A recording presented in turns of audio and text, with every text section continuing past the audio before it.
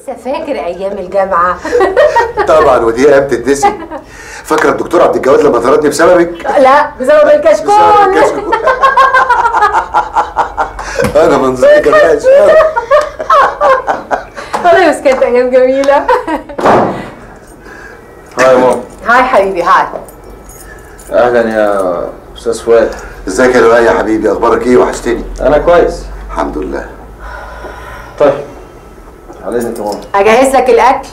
لا يا حبيبتي خليكي قاعدة مرتاحة. شكله كده ما يكونش يعني متضايق إنه لقاني قاعد معاكي. لا يا فؤاد لا. هو متضايق كده من ساعة حكاية باباها. لو كان موضوع العربية بتاعته اللي اتحجز عليها مضايقه أنا مستعد أجيب له واحدة جديدة. للدرجة دي بتعزنا؟ طبعا. مستعد أعمل أي حاجة في الدنيا ترضيكي. قصدي يعني ترضيكم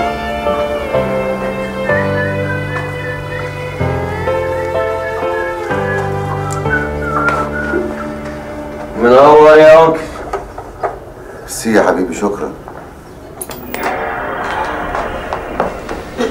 اخباركم بقى على ماتش هايل. حبيبي لؤي انت متضايق من حاجة؟ لا يا حبيبتي خالص.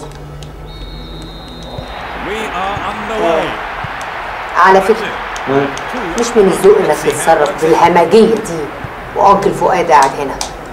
ومش من الذوق برضه ان حاجات تانية تحصل. بعد إذنكم. لا إذا سمحت الولد غلطه لازم يتأسف لك. أنا مش هتأسف لأني ما غلطتش في حد. أنتوا اللي بتعملوا حاجات غريبة كده أنا مش فاهمها وخصوصا بعد ظروف بابا وسفره بره أنا ماشي. لا يا فؤاد استنى يا فؤاد أنا مش عارفة الولد بيتصرف بالطريقة الهمجية دي ليه؟ ممكن فؤاد يا ريت آه، حضرتك ما تبقاش تيجي هنا تاني وخصوصا وأنا مش موجود. أنا متأسفة متأسفة يا فؤاد فؤاد!